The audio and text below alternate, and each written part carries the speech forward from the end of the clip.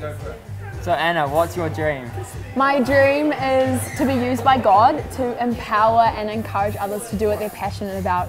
One day I want to open my own business. I want to work for people and with people. I want to serve others. I want to travel the world with the people that I love.